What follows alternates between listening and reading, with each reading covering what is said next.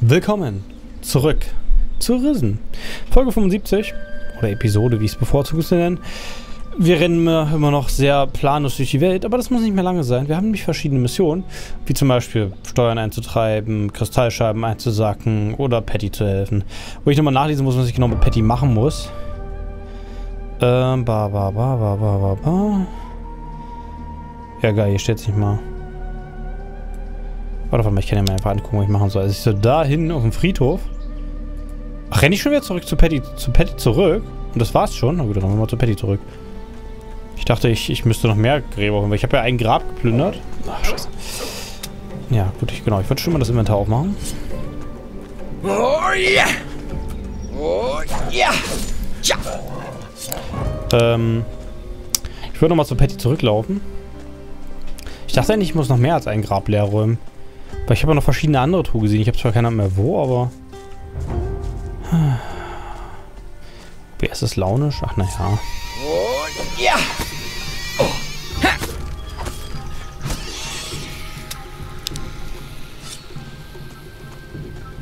Oh ja! Oh ja! Ach, wie schön. Wie die Viecher sich nicht wehren können. So, handelt der Typ da vorne eigentlich? Oh ja! Haben die Rekruten eigentlich... Haben die Rekruten eigentlich irgendwelche Chancen gegen, gegen die schwarzen Wölfe? Probier's woanders. Hab ich das Buch schon gelesen? Quicksave? Ich habe gerade keinen Schleichenring an. Was? Ich wurde auch schon zugetackelt und geklebt. Deswegen gehe ich lieber zum Arzt als zum Schreiner. Rudolf. Achso? Sollte ich?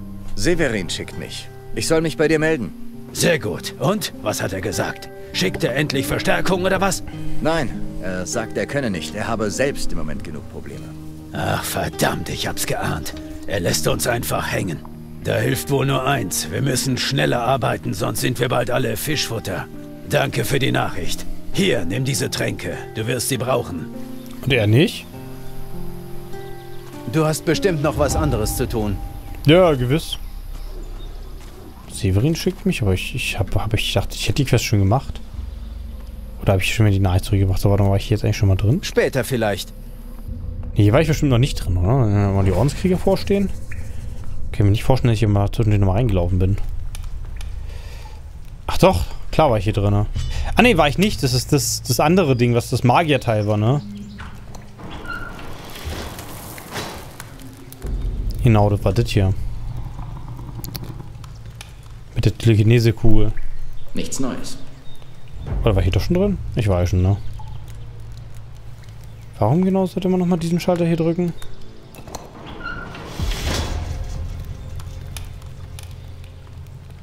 Naja. Ich war hier schon mal drin, aber wie denn? Ich bin bestimmt da beim letzten Mal direkt reingelaufen. Na gut, dann brechen wir wieder aus. Warum auch immer ich eigentlich...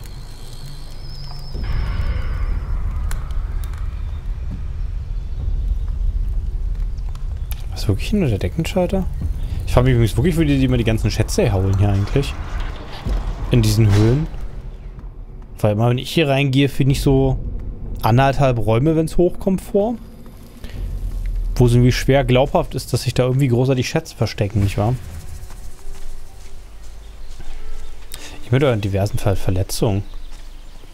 Meine größte Operation war meine Weisheitszahn-Dingensgeschichte. Und das war relativ freiwillig. Bis dahin habe ich sehr vermieden, irgendwie krank zu werden. Aber gut, ich habe auch nie irgendwie einen Vereinssport oder so mitgemacht. Ich war mal im...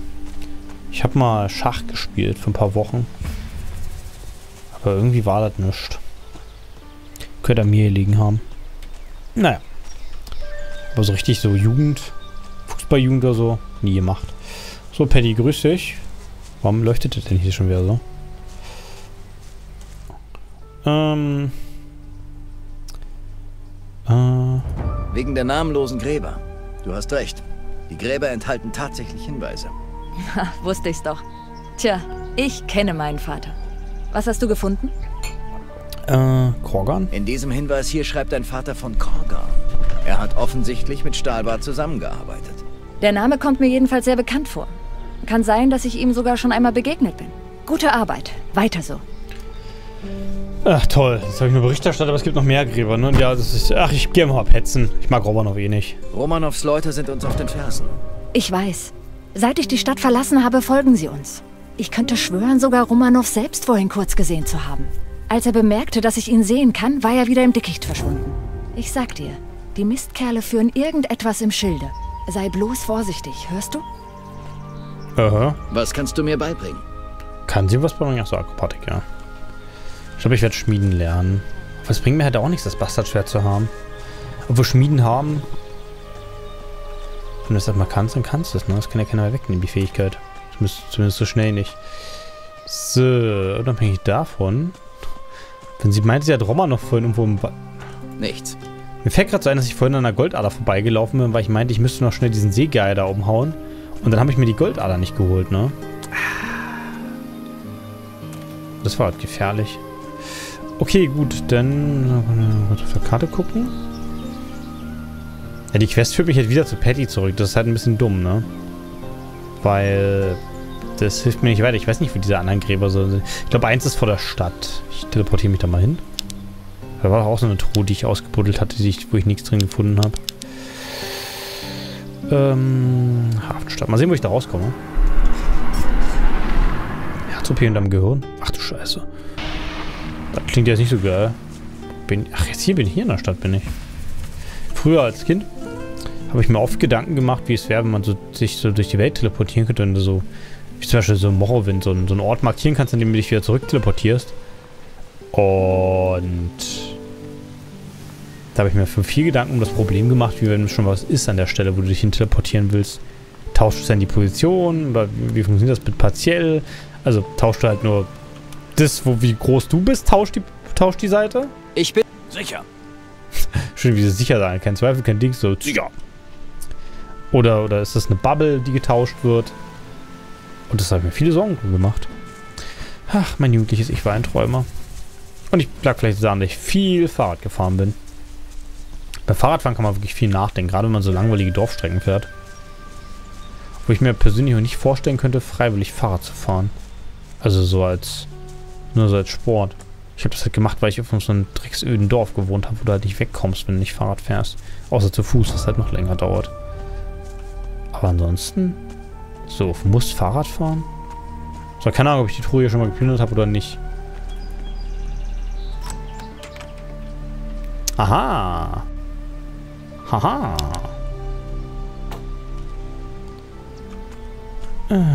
So, warte mal. Den Gräbern stehen nun Kreuze, die den Namen der Meuterer tragen. Nur das eine Grab trägt den Namen eines alten Säufers, den Korgan in Aschandor einmal ausgegraben, ausgeraubt hatte. Ob er heute noch so stolz darauf wäre? Ich werde es nie erfahren. Aschandor. Das Witzige ist, ich habe ja irgendwann mal kritisiert, dass wir immer noch nicht wissen, dass die Insel ja Faranga heißen wird.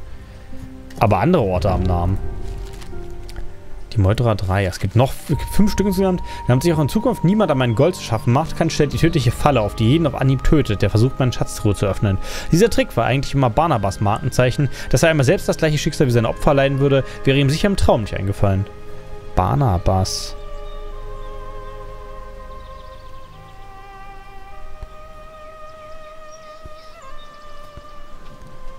Es spricht viel dafür, dass die einzelnen Namen auf ihn Hinweis sind, ne?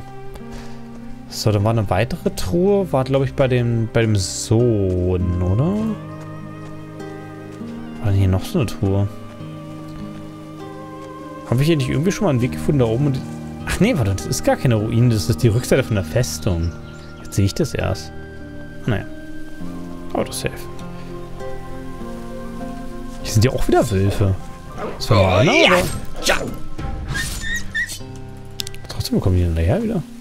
Also ich bin mir ziemlich sicher, dass pro Kapitel Leute respawnen. Ähm. Oh, ein bisschen ärgerlich jetzt, ne? Noch ärgerlich ist es eigentlich, sind die Truhen, von denen, denen ich nicht weiß, wo sie sind. Ein paar habe ich ja schon gehoben. Na, wir laufen einfach mal in, in grobe Richtung Osten. Das, da kommen wir schon irgendwo an. Soll ich erstmal ein bisschen was hier. Nicht witzig, dass wir noch keinen, keinen anderen von der Piratencrew gefunden haben, außer Vasili. Wahrscheinlich bin ich dafür zu wenig kreativ beim Abbiegen. Hat der Vulkan schon immer so viel gebrannt, wie er jetzt tut? Also war da schon immer so eine Flamme am Horizont? Ist mir bis dato noch nicht aufgefallen. Ob das so gut für den CO2-Gehalt der Welt ist. Aber trotzdem, das, die riesengroße Statue da oben scheint keiner, hat bis jetzt noch keiner mit nur einem Wort erwähnt, ne? Dass da quasi ein halber Mensch steht.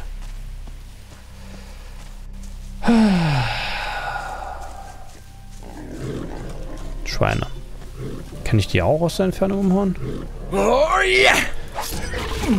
Ne.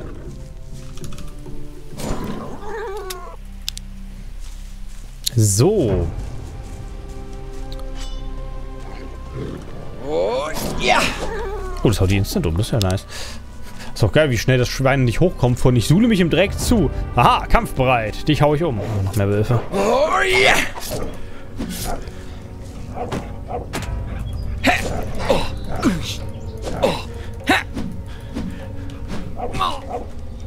Oh ja! Alter! Ja klar! Och Mann.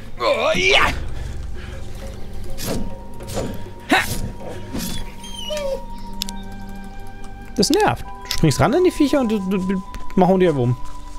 Vor allem gerade die kleinen Wölfe müssten ja eigentlich... Oh ja! Genau, die Wildschweine. Sofort down. Bin mir gar nicht anschauen. War, war ich hier schon? Hier war irgendwo diese Schlucht, wo ich mich, wo ich mich heldenhaft rüber ge geschwungen habe. Da unten ist eine Truhe, aber die hatte ich glaube ich schon. Das ist, das ist ja keine Schatztruhe, also die ist auch nicht richtig. Ich muss mal kurz die Namen unterschreiben. Korgan Barnabas. Was ist denn das hier noch Schönes? Hier ist was vergraben. Aha, hört, hört.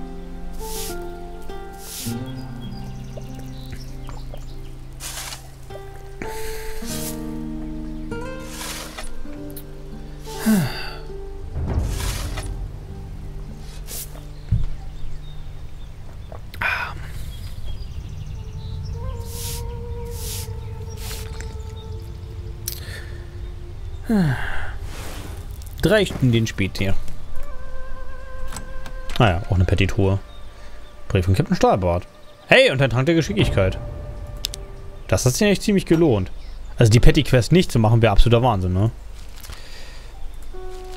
Nur die eine Truhe ist unge ungefährlich. Allerdings auch nur, wenn man weiß, welche Truhe es ist. Und wenn man meinen Dietrich besitzt. Um Taras tut es mir ehrlich gesagt einfach nicht leid. Er war ein guter Mann. Taras. Hm. Warte mal, da noch Zahlen dran, ne? Moment, das ist die Nummer 4, ne? Taras ist die 4. Korgan ist die 5. Der hier war die 3, ne? Barnabas. BKT? Naja gut, das, das ergibt schon mal kein Wort. Sein ist es mit BKT. Dann da gibt es doch ein Wort. Logik. Ähm, dann war aber hier, glaube ich, keine Truhe, weil wir sind doch hier in der Nähe von der Hütte von dem Typen, oder? Ja, das, genau, das war hier. Ich dachte, hier im Garten hätte ich auch eine aufgewühlt. Ich weigere mich hier rumzurennen. Es muss doch so gehen. Es geht immer irgendwie so. Äh. Marvin säuft immer noch? Ei, guck mal hier. Ich brauche mehr Informationen über deine Untoten. Zeig mir mal auf meiner Karte, wo genau die zerfallenen Burgen sind, die du kennst.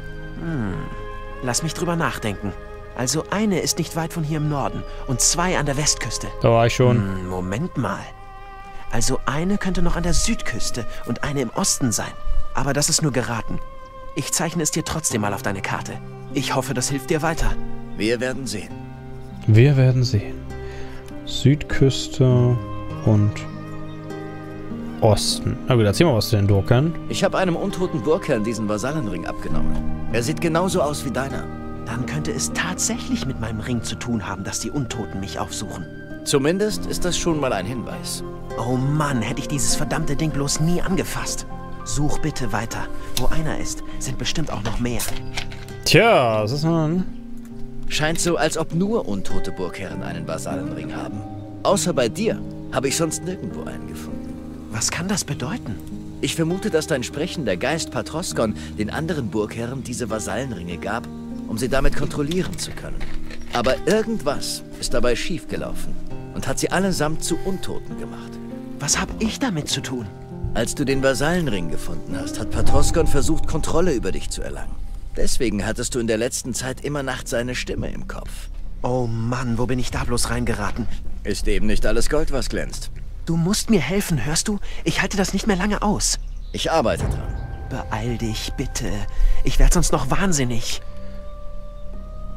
Ob er am Ende selber zu Patroskon wird, wenn ich komme, weil ich natürlich zu spät bin? Was bekomme ich eigentlich von dir, wenn ich dein Problem löse? Alles, was ich habe. Und wie viel ist das? Es wird sich für dich lohnen, versprochen. Das will ich hoffen. Untote sind ganz schön harte Mistkerle. Mhm. Was ist mit Patroskon? Wo könnte der sich verstecken? Wenn ich das bloß wüsste. Jetzt komm schon. Denk mal nach.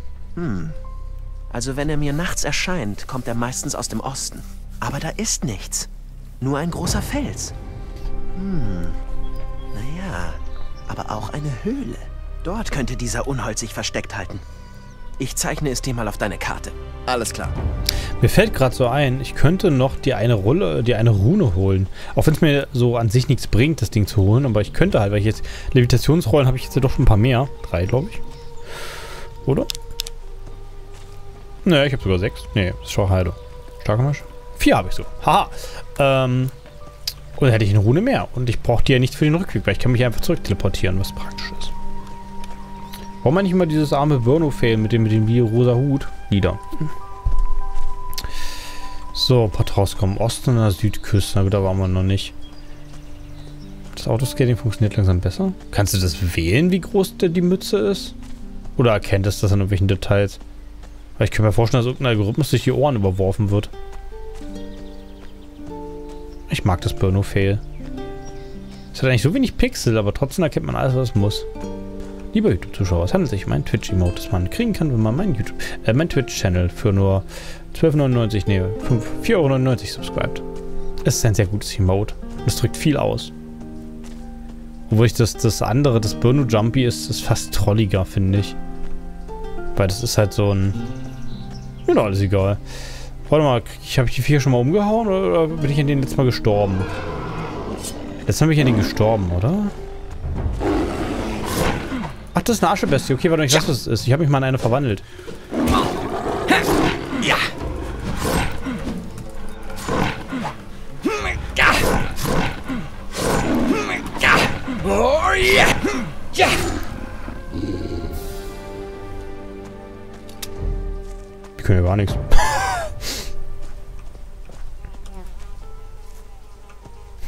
Ist der ganze Kopf im Hut.